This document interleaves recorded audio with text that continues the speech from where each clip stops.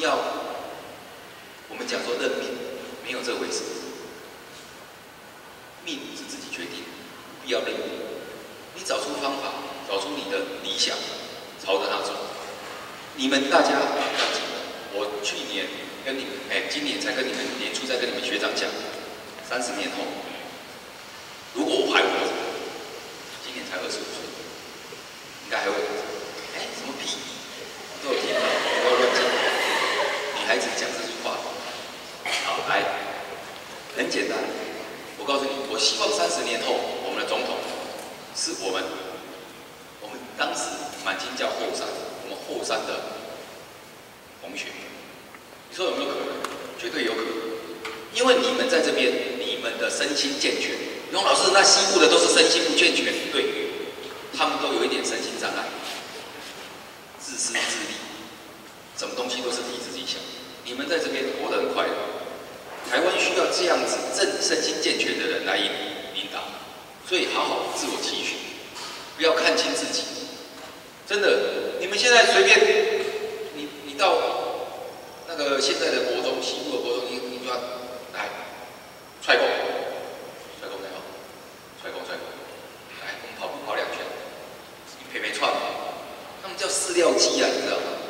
第一个模拟，你要做任何的事业，一定要是什么？体力嘛。我告诉你啊，人有三样东西哈，装不了，哪三样知道？脑袋里面的东西。你脑袋里面没有东西，我告诉你，跟你相处久了，你表达出来的，还有你的言语、你的知识。都会告诉你，告诉周遭的人，你有什么样的学识，什么样的才识。你看那个电视上那些演艺人员，我告诉你，你看他在演戏，你们不要被那一种光鲜亮丽的外表骗。上个礼拜才去参加那个虞美的新闻哇哇的录影，我隔壁坐的是，后来是我们助理跟我讲，我隔壁坐的那一个女生说什么媒体工作者，她全身都是假的。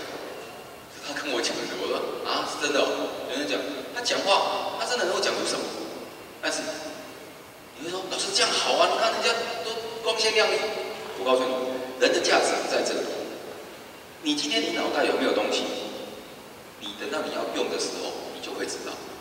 所以你不要，千万不要被外面的媒体讲啊，读书没有用啊，读书读到开大也没有用，这个都是不对的。我举个简单的例子，在座的有没有打棒球的？有打棒球的举手？没有。好，我先问你一个简单的问题：全台湾打棒球的人口有多少？从以前红叶少棒队到现在有多少？告诉我，出几个王建民？一个。在大联盟里面，在大联盟里面喊得出名号的，跟手指有算有剩。你不要每天做这种白日梦。我不是说你不要努力。如果你有这样的天分，你是千里马遇到伯乐，那我祝福你。一样的道理，做面包的有多少人？出几个吴宝春？吴宝春是我们台湾教育体系出来的？他本身他最大的特质就是什么？这几个人的特质不在于，不是没有读书哦，不是没有，你不要搞错哦，是他们本身的人格特质，吃苦耐劳。他们要不要读书？你问吴宝春，读书重不重要？我到什么时候才想念书？你知道吗？就有一天，就我真的还要感谢这个老师。我刚好坐在窗户旁边，然后真的不想念他，他就在翻书。那是我的老师。哦，我前两年还有回去找找过他，他就走到我旁边来。他其实那一句话是在激励我，我知道。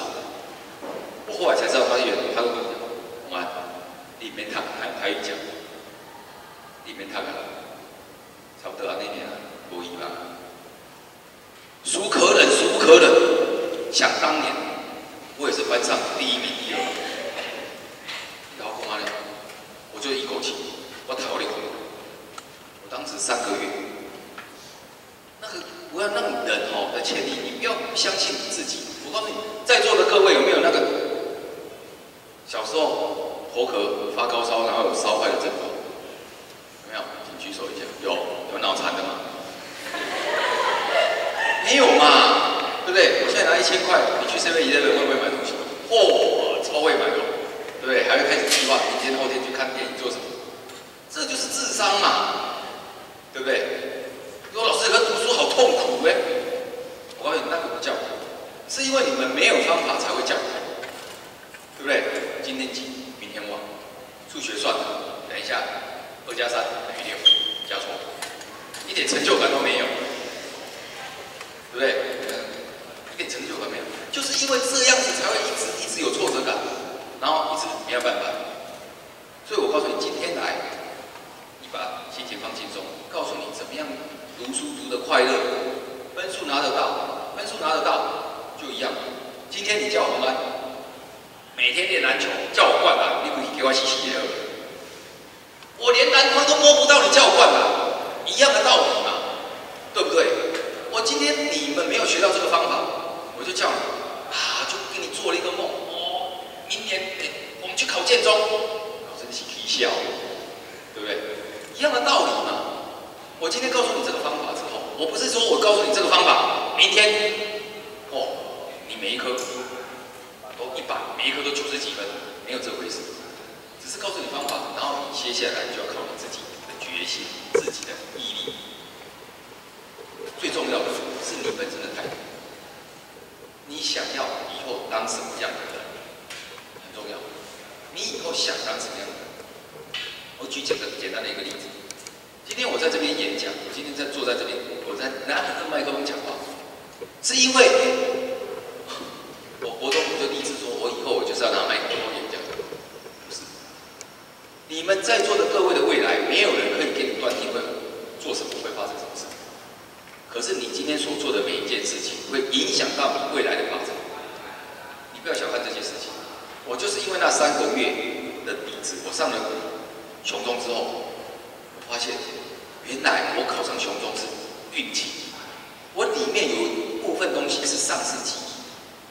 跟同学，哇，那时候读得好辛苦，进去第一次月考倒数第二名，后面一个是他缺考，倒数第二名，我我哪呢？如果当时我若自暴自弃的话，我告诉你，以我们的聪明才智啊，要干坏事很简单。我说我现在我就不会是站在这里，这现在绝对不是苹果日报报四十五岁去读建中。他报错了，多报了二十岁。哦，那不是广告，我我会告他。好，然后去吴建中，我可能就是在 C V 一的门口。你有没有看到？不是那个，不是那个失智老人、失智小孩啊，不是，是那个十大通缉要犯，可能排前十大排得进去。为什么？因为以我们的坏点子，以我们的坏脑筋，以我们的小聪明，要干这些坏事。可是，你今天就是在你当下要决定怎么做。如果你们现在开始你就觉得啊，我博一吧，自暴自弃的，在花莲，所以我一本来就是应该考好，我本来就应该，我告诉你。真的，你就会这样子，你就会变成这样子。换个角度想，冲一冲，试一试，我又不会掉一块肉。因为我跟你讲啊，没有人说爸爸妈妈长成什么样子，我们就要变成什么样子。后半辈子，DNA 他们二十三岁来这里，他们已经给你了，你改不了。可是你也可以改变你的，在于你这一颗心有没有决心，就这么简单。如果我今天我是郭台铭来家哪里公布立委，我以前啊，我要多辛苦啊，多辛苦啊，多辛苦，你买天一定后了。为什么成功的人才有这种事？对不对？你平常你你天天在那个台北街头睡睡觉的那个流浪汉，来拿着麦克风，各位同学，求你求喜，对不对？所以这些人是因为他背后的一个成长过程，所以你们要记得一件事情。你看到这个人成功的，你要注意他背后的努力，他们背后所吃的苦。你们都是怎么样？直接想要跳过去啊？明天就变成福建，明天可以变成阿美多，这个是不可能。所以以前跟你国小讲这个东西，你更听不下去。可是眼前你们剩下九个月，人生的第一关，就要决心。再怎么辛苦，我也要第一关，我要先爬上去。在这个同辈之间，我已经踏上比同学更高的高度的时候，你的梦就会越来越近。不然的话，我告诉你，迷迷糊糊毕业，迷迷糊糊的长大，就迷迷糊糊的过一生，就是这样。哦，所以这一场演讲不要太严肃，我也不是要跟你说教，也不是要告诉你什么，只是告诉你，下半辈子你要怎么过日子，这八个月很关键。很关键，你不要等到出社会了，好，读到很大的学校，对不对？然后又很担心未来没有着落，然后开始打工，然后边打工的时候又想要说啊，我要讲读好学校，读到那时候读书不容易。一旦去工作之后，每天累得我，去建中新生训练两天，就像你们坐在这样子，我这样子光做做两，晚上有不好睡，回到家里九点半。累累毙了，光是上课哦，听人家上课就就这么累了。那我问你，你现在每天出去外面工作，哦，如果还做人气行的还好，或者去外面哦帮忙什么哦，扛东西的啦，像送外那个快递的那些，然后打工到便当店里面啊，帮送饮料的那些，你回到家里还想要？还想要再重新上进吗？这八个月不能重。懂不懂意思？所以刚开始渣渣，那么乱七八糟的啦，叽叽喳喳的啦，讲了一大堆，只是告诉你要做自己。那我们现在来看，那你基本学历证用？我要做自己，当然基本学历证要分数。我我今天要来之前，我本来是想要联络我们那个，我们之前在那个屏东，他好像不知道是台湾组还是陆海组。知道他，我要问他，然后来他没有，他也是，他考进一年基本学历，他本来不敢做，就是，我们里面都有很多小朋友很优秀的，我怎么可能考得上雄？我告诉他一件事情，考得上考不上，成绩出来，让电脑去决定，你就把自己该做的事情做好，该写的答案把它写对，放下心来。那考得上考不上不是你决定的，你想那个根本没有用啊！你想考得上就考得上嘛？你考不上就考不上嘛？所以你们十几岁小朋友都会想那些，简单的来讲，完全对事情没有任何帮忙的事情，天马行空乱想，扎扎实实眼前该做的事情做。他今年考三百四十几分，那因为你们有保障名额，他上去了。他在我的 Facebook 里面，他也有跟我。跟我道谢什么的，我就觉得说，我今天我走到哪里，无论如何，我一定要告诉我这些小朋友，你们每一个人的年纪都比我女儿小，对不对？你报上会讲，我希望你们这一代，将来出社会的时候，每个人都是对自己胸有成竹，知道自己的方向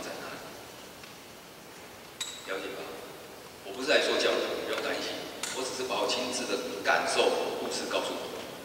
那你说老师啊，我国一国二很混，现在剩下八个月，真的有救吗？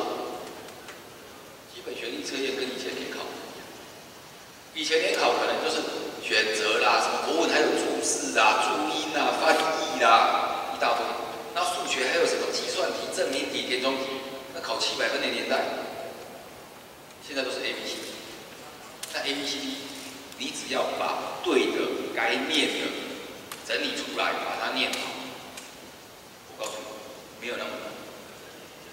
只是因为你们之前的观念觉得说啊，我想认识他，他不认识我，就这样子，这都不对的。你们现在已经大概慢慢长大之后，就会有这个？你们有没有去看？哦，哎，那一年我们我们一起追的女孩，还没看？看到？看到？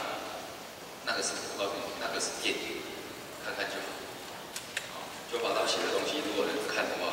大便都能吃，那个是赚钱的！我没有骗你。哎，我讲完之后，你会觉得我不是在批评他哦，是因为他真的是一个商业的东西。我现在问一个简单的问题：今天我安来这边，我也没有给你收任何钱。我要告诉你的是，你脑袋的东西，未来让你去赚几百万、几千万。今天如果我换成罗志祥。他那么帅，也没有那么年轻，你们一定会很嗨，嗨！可是他在干嘛？他在骗你们的青春，骗你们的钱。老师，我喜欢被骗，这样子我好满足哦。这就是少女情怀总是是。你去骂猛力妈吗？当时他迷那个情探情香，你迷的怎么样？现在他在做什么？你懂吗？你不要把青春。岁月、金钱放在这些混蛋身上，他在骗你的钱。你看，钱给你之后，他买好的车子、好的房子。等到你没工作、你没饭吃的时候，罗志祥会不会跟你讲说：“哎，妹妹，你有买我的专辑？来，我两百块给你。如果会的话，我再给你点两万块。”你懂不懂这意思？因为我们大人的社会很机车、很贱。我讲话听。贝哥哥，怎么建法？我当然要到处轰这一个罗志祥啊，把包装成像神。我刚才罗志祥脑袋装大便。你问他说我们七七抗战民国几年，他绝对讲不出来。陆老师唱歌又不用考这个，你叫他写字段就好。罗志祥会唱歌会跳舞，那接下来我告诉你，罗志祥是这个时代的人物。我们那个时代的人物也有他那时代的人物，这些人都在干嘛？你看啊，食衣住行娱乐，他是排最后，在我们古代叫什么艺妓？可是这个时代因为颠倒，那你们会觉得，老师，可是人那巨星呢，赚很多钱呢？我跟你讲，那个东西，你只要你现在开始好好的念念。把你的脑袋装好一点，你我跟你讲，你的发展绝对比他更大。你这八个月，先把这些所谓的偶像当做乐色，你要告诉他，我要比你更好。以后我是人家底下我的学弟学妹的偶像，你这样做就对了。追逐偶像的人哦，不会有什么前提的，我没有骗你。你要追逐自己，让自己变偶像，知道我的意思？让自己变偶像。因为人的年轻只有一次。我现在虽然会建筑，我能不能再变成十十六岁、十几岁？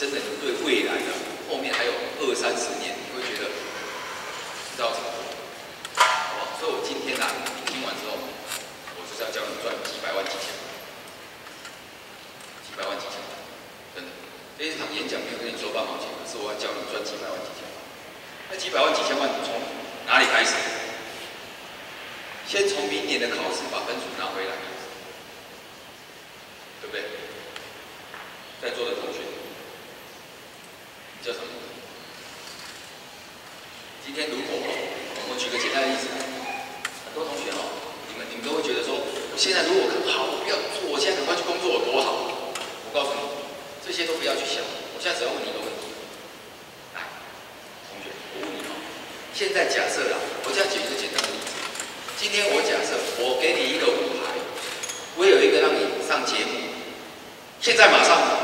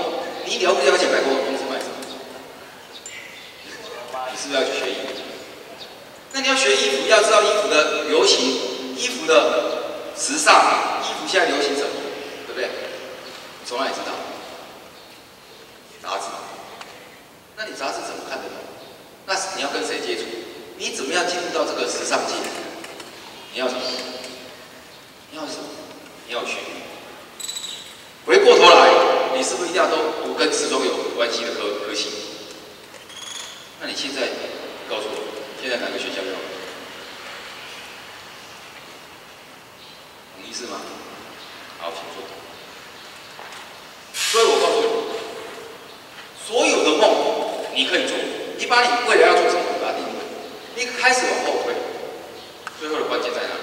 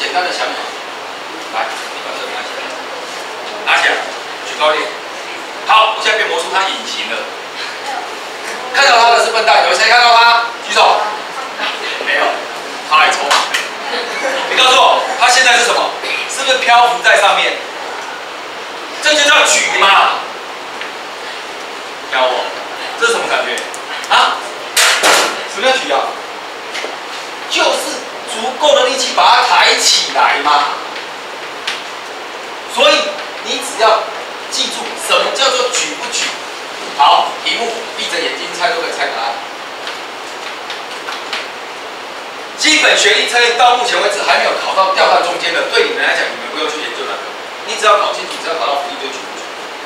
那我问你，你刚刚出多少力把这个椅子拿起来？就是这个椅子的什么重量嘛？所以以后你只要看到东西有露出水面，就是代表举起来。这个浮力的感觉，你不要把它想得太复杂，不要背公式，也不要再管那些阿猫阿狗。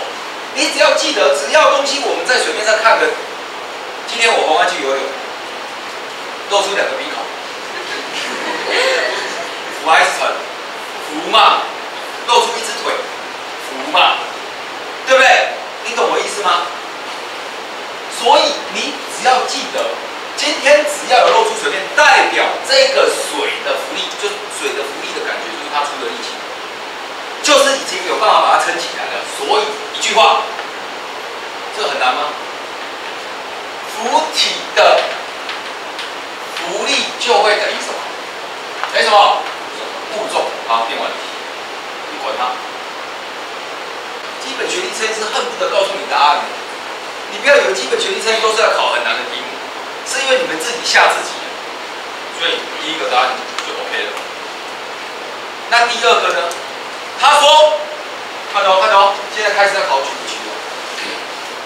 来，他说盐水没有饱和，我开始丢盐巴进去，苹果仍然浮在水面，圈起来。喂，举还是举？来，开始。等一下，中午多吃一点，好。看到好，这边再举高一点，这样叫举，放低一点，这样也叫举，还是多举？这样子，你出多少力？椅子的重，举高一点，还是椅子的重？开始，开始，开始。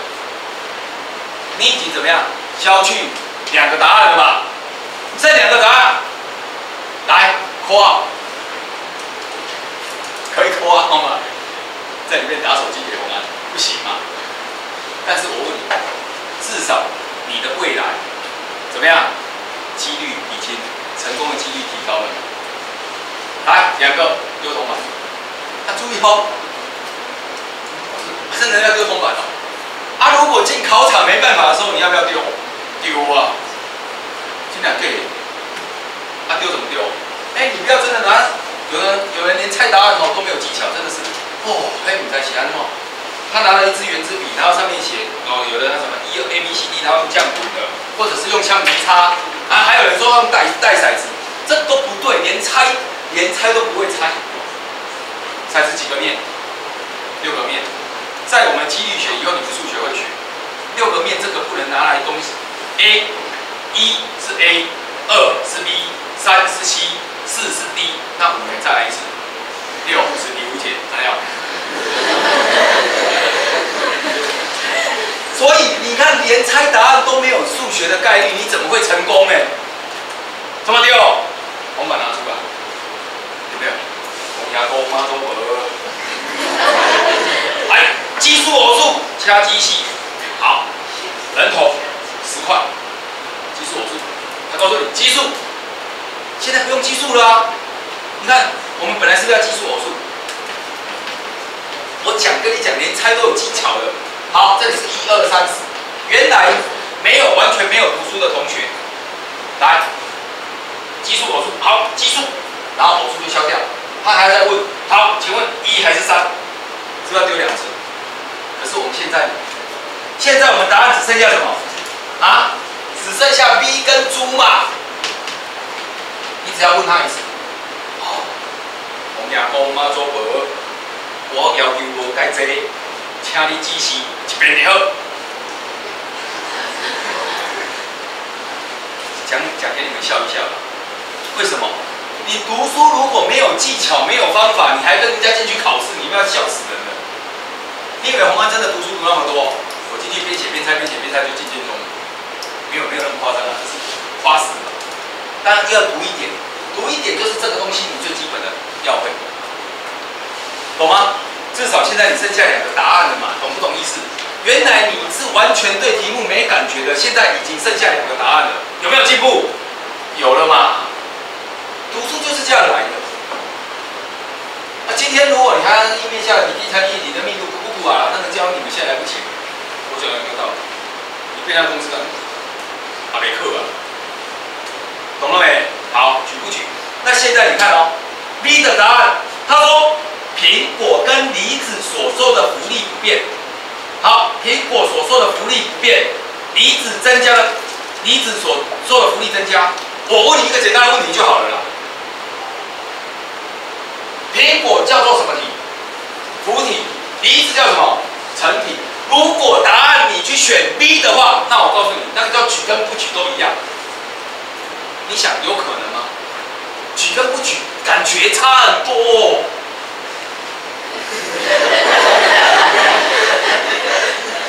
所以你告诉我，到这个时候，你都不读书哦，你只听红安举跟不举而已哦，你都不选答案。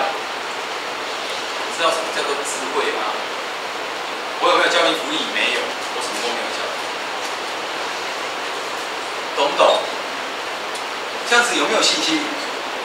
把你的聪明才智拿出来。你看我讲的笑话，我都没有讲，你们都听得懂，好奇怪，智商那么高。我连我自己要讲什么都听不懂，那你们竟然可以听懂，这样了不了解？懂了没？所以以后只要看到福利，看到福利的题目，第一个要想什么？举跟不举？只要东西露在水面的，它的福利就等于什么？物重，很难记，你记起来不用。我没有啊，我没有记得。主任，你改机票。懂不懂？懂的举手。今天来上海谢我来谢飞。哦，爸爸来喝茶，继续。来。好，来哦，你看哦，九十四年，哎，九十四年是考梨子苹果，你看九十年考什么？哦，考一块木头。你告诉我，九十年如果你写过这个题目，啊，你九十四年去考你不会，啊，那我们比较细细。所以你告诉我，哎。一块木头浮在水面，这个题目在考什么？举不举？举嘛。好，你告诉我。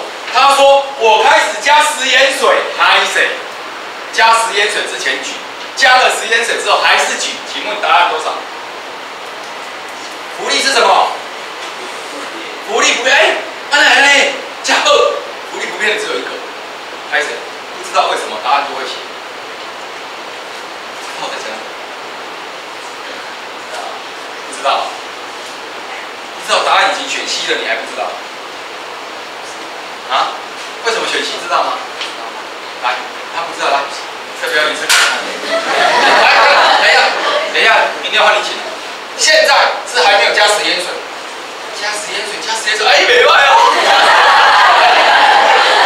没坏，没坏。哎，怎样？对不对？有没有 feel？哎，知道没？好了，来继续。基本学历车，我告诉你啦，讲完之后你就觉得它不值钱了啦，对不对？你敢不敢去考机测？绝对敢，而且考得很高兴。你看哦，曹冲从小就很聪明啊，你你公公你开始开始，好，故事讲完了。好，他在讲什么？知道小时候有没有听过这个故事？就是一头大象。很重啊！那时候没有那么大的秤，不是像现在高速公路有地磅。如果有地磅的话，那曹操就不聪明了。好，他就是把象牵到船上去称一次，然后改用石头，对不对？他在那个这个故事听过没有？听过哈？五年级生都听过，八年级生都没有听过。啊，现在听的都是网络故事。啊，有没有听过？有。好，故事听一下。那我问你，大象。牵到船上之后，大象在船上面整体是沉还是浮？沉下去会被死象呢？对不对？是还是土？好，亲爱的同学，来，故事告诉我们什么？他说：“来哦，一年哦，当大象是九十二年，你看九十年、九十二年、九十四年，我告诉你啊，如果基本学历测验出题老师让我这样上一堂课，我告诉你，他真的会羞愧而死。怎么出这么没水准的题目？这是解开机车的密码，这样子有什么了不起？你看哦，他说只考虑力的大小，来。”大象所受的重力只有一头大象，等于船在大象所受浮力。来，这种题目有，你要注意感感觉清楚。来，，this is 大象，这是船。往前，你要坐这边，稍微替换一下，不然他很累。等下饮料喝不完，变正常。来，给帮忙一下，你移移过来了，啊，你移移过来。哎，这是大象，它是这一艘船。现在题目你知道问他问什么哈？来看。哎，很多人是国文出问题哦。大象所受到的重力叫什么？大象的体重。第二句话讲什么？船在大象所受的重力。在讲什么？在讲什么？船加大象的重，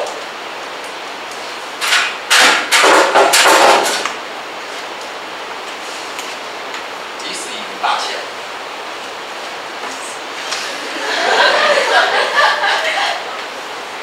好，好，即使一个船。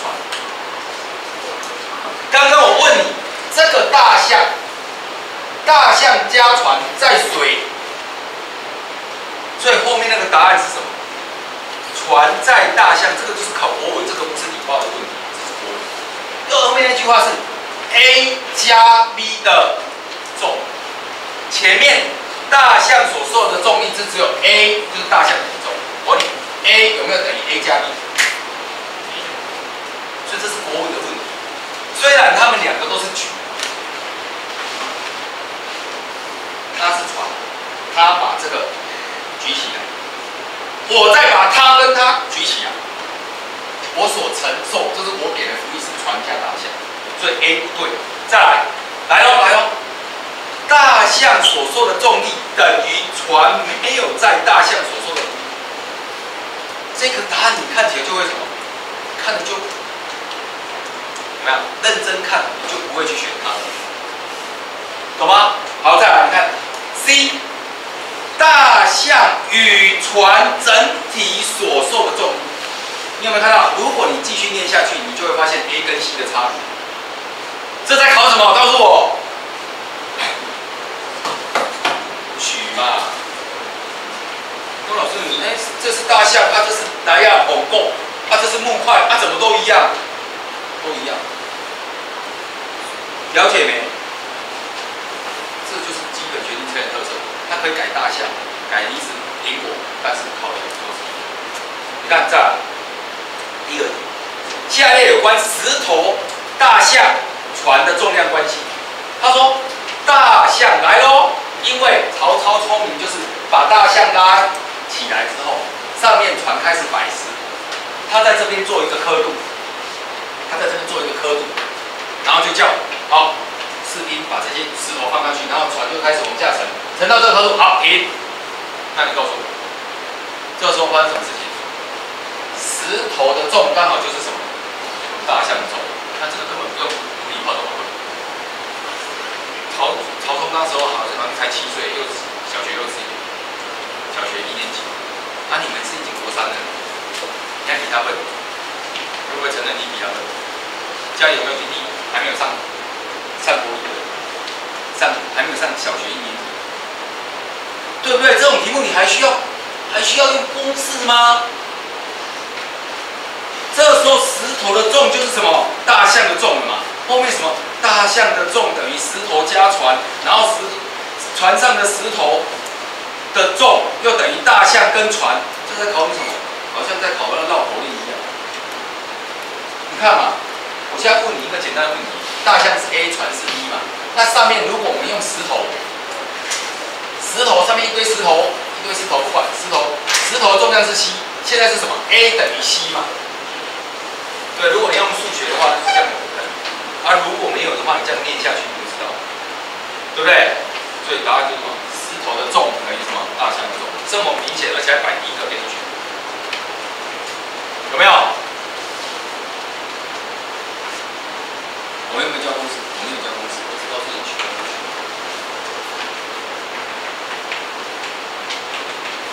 好，那就是啤啤酒，英文怎么？拼？啤。我们的元素符号没有三个字的，梅阿梅阿梅奇怪，阿梅阿梅钙难听钙，死状元子来来，思也是啊，贝哎，你是我的宝贝，好恶心哦，宝贝怎么英文怎么念？贝。啊，没错啊，你是我的宝贝，贝不是一 A 吗？对不对？好，二 A 组就是正二，一 A 组就是正一。先教你几个简单的就好，你就化学式就会认。然后最后一行叫做什么？最后一行，最后一行，有自闭症的，惰性气体，不跟人家讲话的，不跟人家反应的。海林阿哥沙当，这个我们五年级生都听过啊，那个以前的自修差不多有。海南雅克先东，海林阿哥沙当不管，你只要记住这三个就好了。海南雅，老师这很难背，怎么会难背？台语念得好就会了，这叫什么？我以前当先片的时候，这叫凶。好久没念了，现在变乳糖。这叫什么啦？奶奶的台语叫啥？咪。啊奶咪咪奶会不会？奶是什么？笑话都听得懂，背不起啊。奶就是咪嘛，啊咪就是 n e 嘛，对不对？啊这啥？牙，a 呀。哦，对了，哑巴，哑巴的孩子，是哑的呀。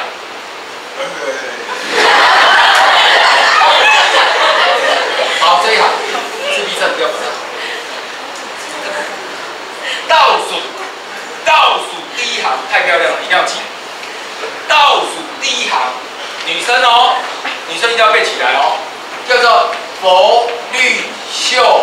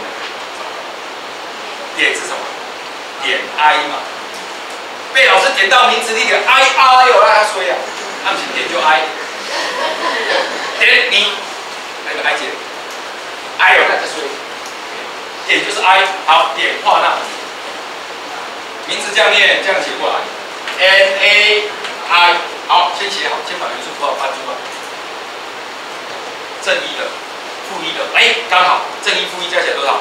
零，不要写，不要写任何数字，化学式就这样来的啦。不要看到一个背一个啦，背背完不顾苦啊！不知道什么意思吗？上网课都知道，从晚上背到天亮，然后天一亮又忘掉。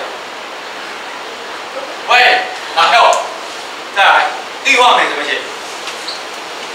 氯化镁，氟氯溴碘二，氯是什么？Cl，镁阿镁，Mg，所以来氯化镁倒回来写要镁先写氯，它正极。二，它负几？负一。哎，正二跟负一给上，所以只要乘以二，这样子来。它是负一嘛，我要两个才跟你门当户对嘛。这样懂不懂意思？懂了哦，一定要会哦，只要会这个就好。基本学历现在只有一题，你不要每天都在背这个，背到很高兴，希望整个考卷都考这个，不会。你去看第一届考题，每年都会有一题，他要你选哪一个是对的，或者是哪一个是错的。一定会，一定会有。它比较难的，另外还有比较难，最少这样子就够了。搞不好运气好，那个对的就是你认识的，啊，那个错的也刚好你认识的，这样就够了。就操比啊，人家读四个，他也是选对，而我只读一个，我也选对。你鸟我，多厉害！懂不懂意思啊？基本学历测验，我跟你讲，你不要怕它。你如果是越怕它哦，会越成就我们那些。台北市的那些教育部的那些官员，把他们西乖的外快乐比那个学欧北龙村啊，就把小孩子整的稀里哗啦的，满足他们的成就感。哎，那么进入更年期的男人都会这样，我厉害，我才青春期哦。好，喂，好来，故事开始喽。所以这个东西来记得写好了，只要是 E A 组的，什么叫 E A 组？李娜姐。你的化学式名字里面，不管你认不认识它，只要什么硝酸钾、硫酸钠，哦，只要金属里面有 E A 组的，我告诉你，听好哦，E A 组的全部都会溶于水。不要一个一个背哈，我随便写，你都要随便背哦。来，溶不溶于水？溶。容不容易水？容，反正闭着眼睛猜都会。你要看到这个男的，这个男的只要是 E A 组的，就是容易水。考试会考这个，不要看我，只要是 E A 组的，李娜奖一出现，不要怀疑，这样子够用了啦，走路有风了。好，那接下来我要你们记住第二个，你只要抓住这个，不然如果你说老师这个好多我都背不起来，那我再教你更简单的，你只要记住这个。啊，没有念到的，全部都溶于水，那你关单吗？考试会考你溶于水不溶于水，溶于水不溶于水啊。国中如果这个在没有记好，到高中你就不要问了，高中更多，你只要记住。刚刚我是不是教你二 A 组？二 A 组什么？皮肤要美，皮美盖是美。那我们国中把它简单一点，当他去遇到硫酸根。遇到碳酸根，高中会讲的比较细，现在不要跟你们讲了，讲越多你们越乱，就是把它简单化就好。基本学历测验，我在明年又是全国联测，里面玩的够用的，走路有风。当他们两个遇到的时候，就是白色沉淀。再讲一遍，二 A 组哪些是二 A 组？里面盖是 A，因为它都是负二价，负二价。你们国中学到的啦，你们国中学到的这个叫做原子团，好多个揪成一团的，带负二的刚好就是这两个，啊，这两个刚好跟二 A 组妈几，只要他们两个一碰到，天雷轰动地火，一发不可收拾，这时候就会产生白色沉淀。好记好了我现在问你随便问你们随便问。来啊我现在写四个你只要告诉我容不容易水就好。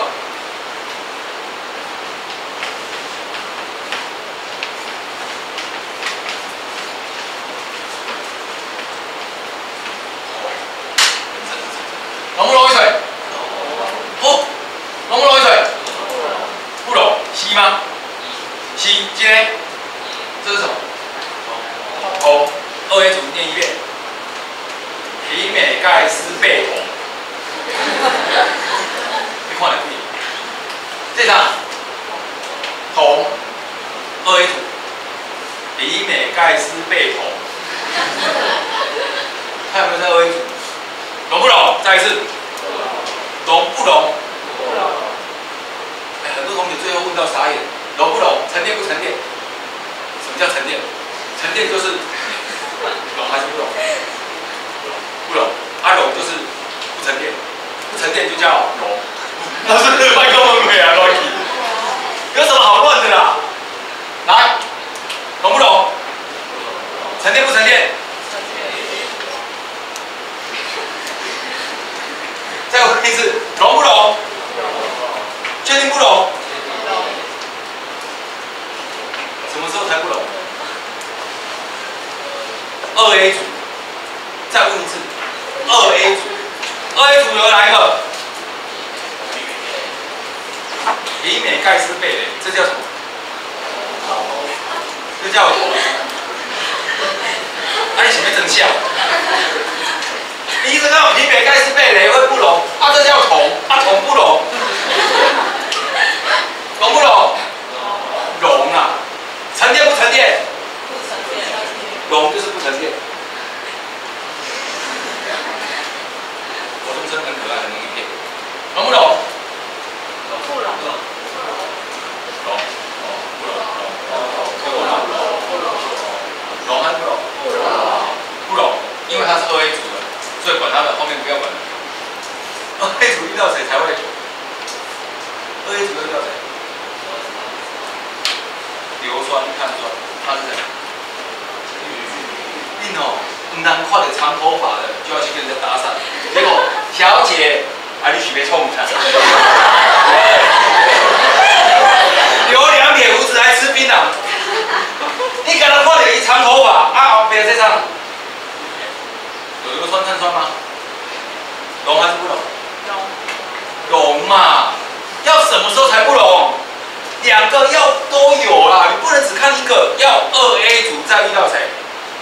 硫酸碳酸才会什么沉淀？只要不是全部都猜什么？我讲的还不够清楚吗？再讲一遍，只有遇到二 A 组，再遇到硫酸跟碳酸碰在一起的时候，叫做沉淀。其他的全部都猜什么？溶，哪里够清楚了？这个，哈，终于明白沉淀。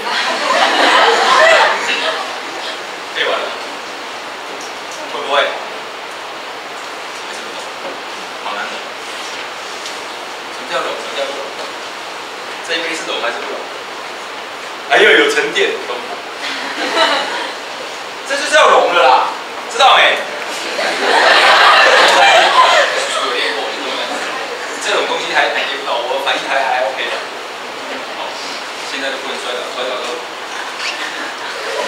哎，来哦，二来哦，看到？还没完哦。哎，这是第一个哦，溶不溶已经教你了。什么时候不溶？可以注意到什么？硫酸、碳酸，其他的都。OK，好，再来。你们理化哦，这些分数一定要拿到，这些都是很好记。气体、氢气跟二氧化碳的产生，很多同学很怕这种题目。怎么样制造二氧化碳？怎么样制造氢气？你记都要记起来。啊，你如果不清楚，回家可以做实验，等一下教你。看，这个特色在哪里？在酸碱盐里面出现一次。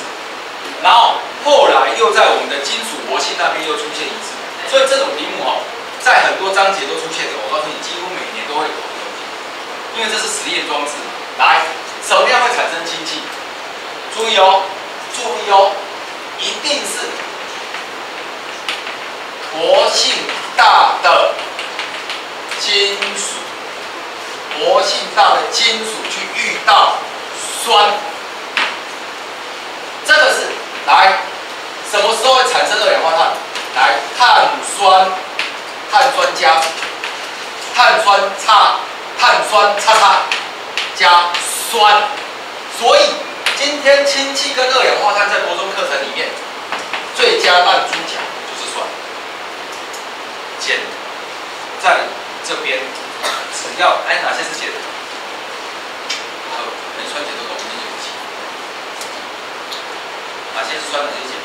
你记住哦，酸，你说老师我背不起来，就是因为你的体质。我告诉你，酸，你只要想到全家，你家就是我家。酸，你就记住这母子三的这三个酸你要记住。硫酸，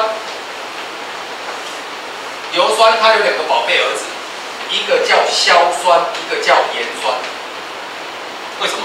因为它叫做化学之母，化学的妈妈。那化学的妈妈，她嫁老公嫁两次，第一次生下来来叫硝酸，后来当国防部长。第二次嫁的老公比较不成才，生下的儿子 DNA 不好，洗厕所厕所所长叫盐酸。啊，真的啊，这不是我掰的啊，他们真的是有母子关系啊。所以硫酸、硝酸、盐酸记得起来吧，简单。要不要？这个强酸你会不会拿来喝？不用这么难过吧？强酸绝对不可能拿来喝、拿来碰触，但是有两个弱酸，很简单，日常生活中一定碰到它。吃面的时候会用到醋酸，来喝饮料的时候，所以这个都可以放到嘴巴里面去。你。把这个搁到嘴巴里面所以酸很好背嘛，三个强酸就是一家人，它一家都是酸，后面还有更精彩，来，钾钠，钾钠干美女，钾化干美女。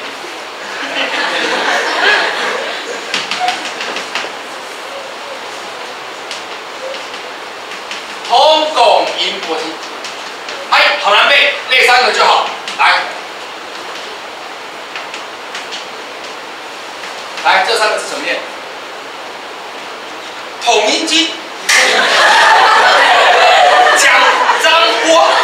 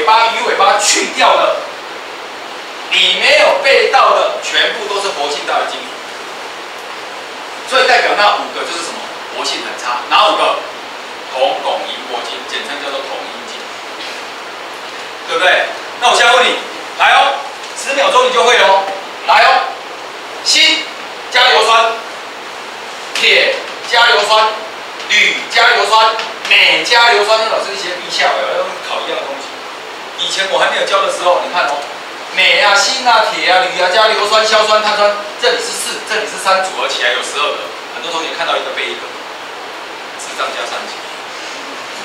我现在问你，你会了没？我问你，铁加硫酸哪种气体？氢气。氢加硝酸还是氢气？铝加盐酸还是氢气？啊，原来是一样的废话。老板，你在背吗？所以注意哦，只要看到氢气，你就要记住。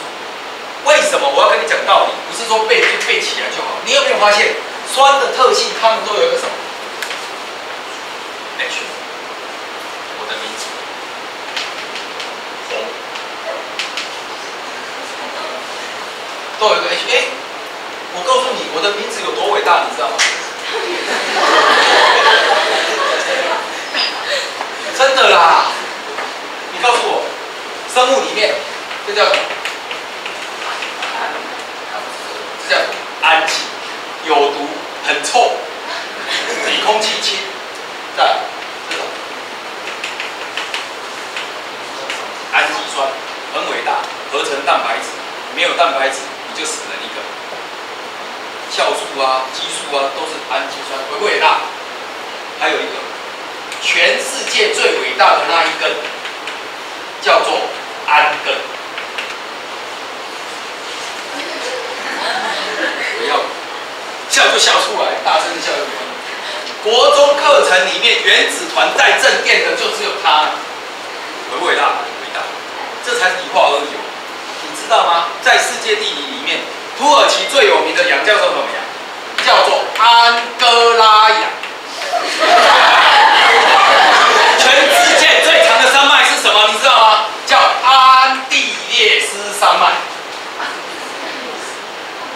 我们的我们的火成岩有三种，一种叫做花岗岩，第二种就叫什么安山岩，红安让你当靠山。哦，公美料太追，对不对？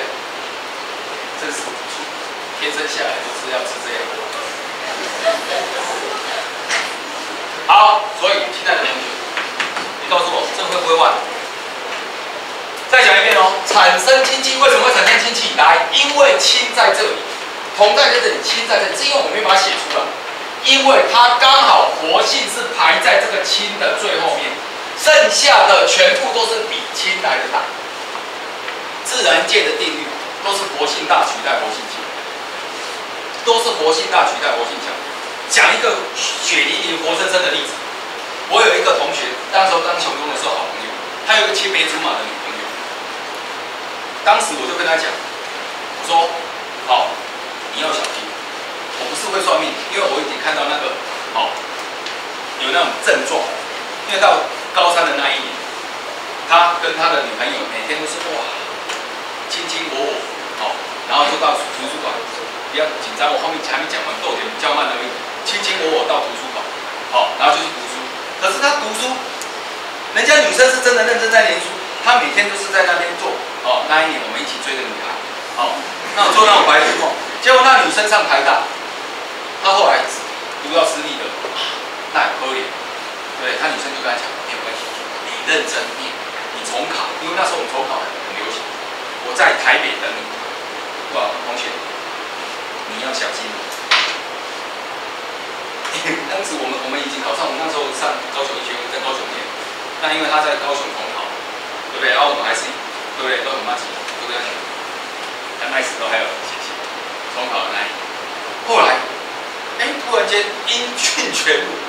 那有一天他真的是忍不住，就到台大，在门口眼睁睁、血淋淋的看到一个惨不忍睹的一幕。有一个同学骑着那个我们当时最好的车子，哦，追风。你知道追风，我哎，他的名字叫追风。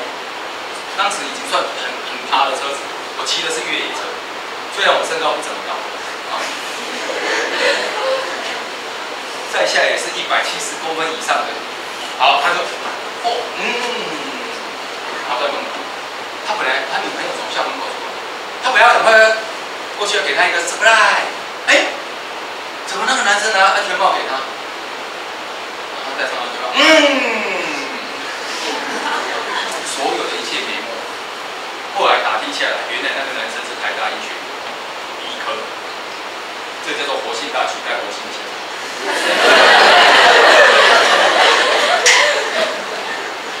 人家读医学院，对不对？未来人家是当医生娘，对不对？啊，跟你呢，跟你一辈子可能要喝凉水，也是那人，也是一个娘子，当然他就被取代了。所以各位的男生，这个故事告诉你什么？不要去迷偶像，天生就要当活性大的假发大嘴。才能当活性大的金属啦。你不要去当那个统统阴金呐，你永远都被取代，知不？所以你看哦，故事是这样来的哈，这叫活性大的金属，因为它的活性比氢来的大，所以这个氢就会被干掉，这时候就会被赶出来。就是它的马子，你看这都是它旁边，本来氢的马子都在这里，结果这个马子移情别恋，看到人家活性大的金属，哦，就被踩他一颗追走。安条，这个都是化学的原理，人生的道理都一样。所以学完理化可以了解很多的人生大道理，就会充满伟大的理想。